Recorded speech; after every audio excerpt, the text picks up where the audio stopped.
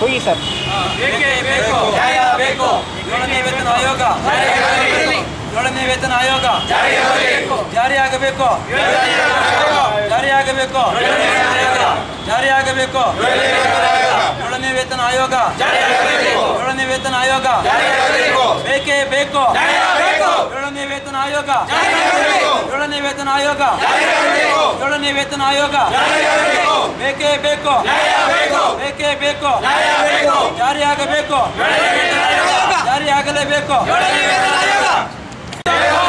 ಕರ್ನಾಟಕದ ಶಿಕ್ಷಕರ ಸಂಘಟನೆಗಳಿಗೆ ಕೆಜಿಸಿಟಿಗೆ ಮುಕ್ತಾಗೆ ಐಫುಕ್ತಾಗೆ ಮುಕ್ತಾಗೆ ಐಫುಕ್ತಾಗೆ ಕೆಜಿಸಿಟಿಗೆ ಮುಕ್ತಾಗೆ ಬೇಕೇ ಬೇಕು ಜಾರಿಗೆ ಬರಲಿ ಜಾರಿಗೆ ಬರಲಿ ಜಾರಿಗೆ ಬರಲಿ ಜಾರಿಗೆ ಬರಲಿ ಜಾರಿಗೆ ಬರಲಿ ಜಾರಿಗೆ ಬರಲಿ ಏಳನೇ ವೇತನ ಆಯೋಗಕ್ಕೆ ಶಿಕ್ಷಕರು ಶಿಕ್ಷಕರ ಎಲ್ಲಾ ಬೇಡಿಕೆಗಳು ವೇತನ ಆಯೋಗ ಏಳನೇ ವೇತನ ಆಯೋಗ ಏಳನೇ ವೇತನ ಆಯೋಗ ಶಿಕ್ಷಕರ ಬೇಡಿಕೆ ಶಿಕ್ಷಕರ ಬೇಡಿಕೆ ಶಿಕ್ಷಕರ ಬೇಡಿಕೆ ಬೇಕೇ? ಬೇಕು. ಕೆಜಿಸಿಟಿಗೆ ಕೆಜಿಸಿಟಿಗೆ ಮುಕ್ತಾಗೆ ಮುಕ್ತಾಗೆ ಐಫುಕ್ತಾಗೆ ಐಫುಕ್ತಾಗೆ ನಾನು ಡಾಕ್ಟರ್ ಎಚ್ ಪ್ರಕಾಶ್ ಅಂತ ಕರ್ನಾಟಕ ಸರ್ಕಾರಿ ಕಾಲೇಜು ಅಧ್ಯಾಪಕರ ಸಂಘದ ಅಧ್ಯಕ್ಷ ಮತ್ತು ಫೆಡರೇಷನ್ ಪ್ರೆಸಿಡೆಂಟ್. ನಮ್ಮ all India federation of university college teachers ಆರ್ಗನೈಸೇಷನಿಂದ ಏಳನೇ ವೇತನ ಆಯೋಗವನ್ನು ಜಾರಿಗೊಳಿಸುವ ವಿಚಾರವಾಗಿ ದೇಶದಾದ್ಯಂತ ಎಲ್ಲ ಯು ಜಿ ಸಿ ವೇತನ ಪಡೆಯುತ್ತಿರುವಂಥ ಕಾಲೇಜಿನ ಅಧ್ಯಾಪಕರುಗಳು ಮತ್ತು ವಿಶ್ವವಿದ್ಯಾಲಯದ ಅಧ್ಯಾಪಕರುಗಳು ಇವತ್ತು ಪ್ರತಿಭಟನಾ ದಿನಾಚರಣೆಯನ್ನು ಆಚರಿಸ್ತಾ ಇದ್ದೀವಿ. ಒಂದು ಒಂದು ಎರಡು ಸಾವಿರದ ಆರರಿಂದ ಬರಬೇಕಾಗಿರುವಂಥ ವೇತನ, ಹದಿನಾರರಿಂದ ಬರಬೇಕಾಗಿರುವಂಥ ವೇತನ ವೇತನ ಆಯೋಗದ ಜಾರಿ ಇಲ್ಲಿವರೆಗೂ ಸಹ ಬಂದಿಲ್ಲ. ವಿಳಂಬ ನೀತಿಯನ್ನು ವಿರೋಧಿಸಿ ಕೇಂದ್ರ ಸರ್ಕಾರದ ವಿರುದ್ಧ ಎಂ ಎಚ್ ಆರ್ ಡಿ ವಿರುದ್ಧ ಮತ್ತು ಯು ಜಿ ಸಿ ವಿರುದ್ಧ ಎಲ್ಲ ಅಧ್ಯಾಪಕರು ಇವತ್ತು ಬ್ಲಾಕ್ ಬ್ಯಾಡ್ಜನ್ನು ಹಾಕಿಕೊಂಡು ಪ್ರತಿಭಟನೆಯನ್ನು ಸಲ್ಲಿಸ್ತಾ ಇದ್ದೇವೆ. ಮತ್ತು ಕೇಂದ್ರ ಸರ್ಕಾರ ಈಗಾಗಲೇ ಕೇಂದ್ರ ಸರ್ಕಾರದ ನೌಕರರಿಗೆ ಒಂದು ಒಂದು ಎರಡು ಸಾವಿರದ ಹದಿನಾರರಿಂದ ಹೊಸ ವೇತನ ಆಯೋಗವನ್ನು ಜಾರಿಗೊಳಿಸಿ ವೇತನವನ್ನು ಈಗಾಗಲೇ ಕೊಟ್ಟಿದ್ದಾರೆ. ಅವರಿಗೆ ಬರಬೇಕಾಗಿರೋ ಬಾಕಿ ವೇತನವನ್ನು ಸಹ ಈಗಾಗಲೇ ನೀಡಲಾಗಿದೆ.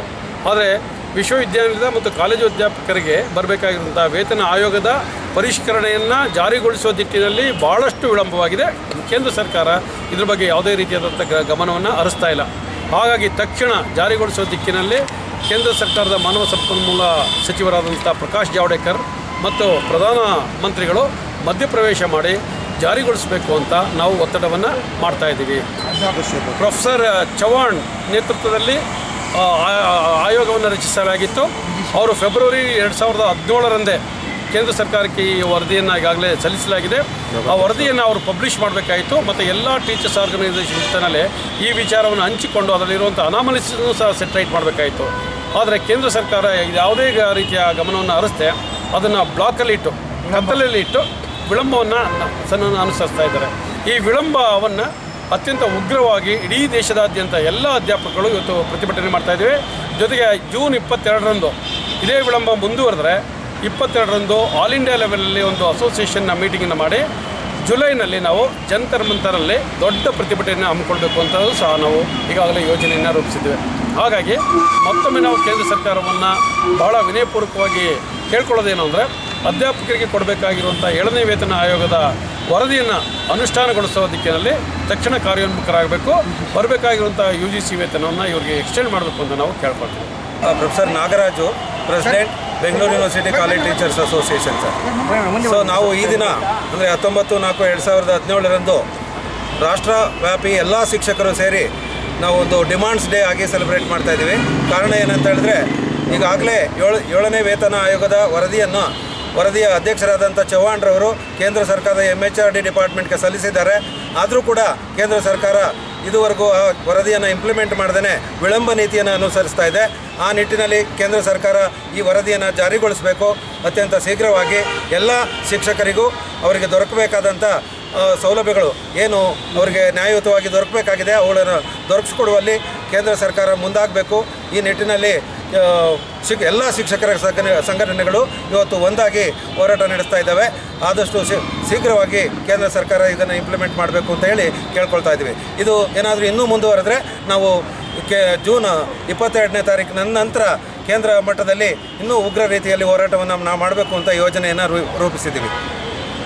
Doctor R Kavalamma K G C ಟಿಯೇ ಉಪಾಧ್ಯಕ್ಷ ವೇತನ ಆಯೋಗ ಬಂದು ಜಾರಿಯಾಗಿ ಎಲ್ಲರಿಗೂ ಏನು ಕೊಡಬೇಕು ನ್ಯಾಯಯುತವಾಗಿ ಅದು ತಲುಪಿದೆ.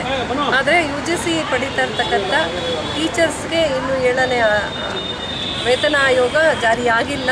ಅದನ್ನು ಅತ್ಯಂತ ಶೀಘ್ರವಾಗಿ ಜಾರಿ ಮಾಡಬೇಕು. ನಮಗೆ ಇಲ್ಲ, ಎಲ್ಲ ಹಾಕಿ ಪರವಾಗಿಲ್ಲ.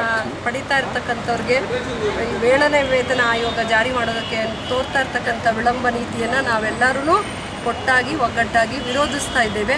ಯಾಕೆಂದರೆ ನಮಗೆ ನ್ಯಾಯಸಮ್ಮತವಾಗಿ ಎರಡು ಸಾವಿರದ ಹದಿನಾರರ ಒಂದು ಒಂದು ಎರಡು ಸಾವಿರದ ಹದಿನಾರರಿಂದ ಬರಬೇಕಾಗಿರ್ತಕ್ಕಂಥ ವೇತನ ಬಾಕಿ ಮತ್ತು ವೇತನವನ್ನು ನಿಗದಿ ಆದಷ್ಟು ಬೇಗ ನಿಗದಿ ಮಾಡಿ ನಮಗೆ ಸಲ್ಲಬೇಕಾಗಿರೋದನ್ನು ಸಲ್ಲಿಸಬೇಕು. ಇಲ್ಲದೇ ಇದ್ದರೆ ಎಲ್ಲ ಕಾಲೇಜು ಅಧ್ಯಾಪಕರ ಸಂಘಗಳಿದ್ದಾವಲ್ಲ ಉಗ್ರ ಹೋರಾಟವನ್ನು ಮಾಡೋದಕ್ಕೆ ನಾವು ತಯಾರಿಯನ್ನು ಮಾಡಿಕೊಳ್ತಾ ಇದ್ದೇವೆ.